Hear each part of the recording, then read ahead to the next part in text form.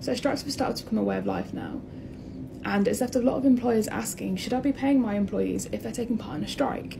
And the answer is no. While they're on a strike, they're not performing under the terms of their employment contract, so therefore payment is not due from the employer.